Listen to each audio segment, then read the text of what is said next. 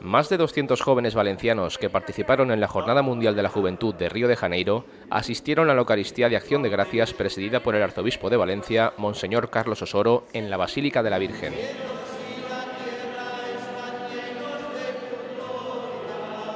Yo le digo al Señor, Señor, esta noche yo aquí en la Basílica de la Santísima Virgen, de la Madre de Dios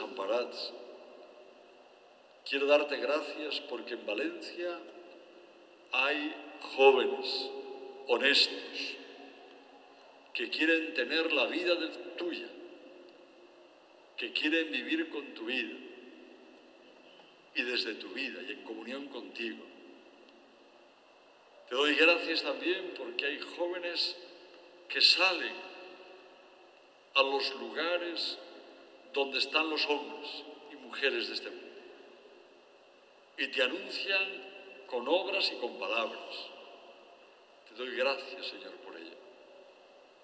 Y te doy gracias también porque hay jóvenes empeñados en curar las heridas que los hombres y mujeres de este mundo tienen.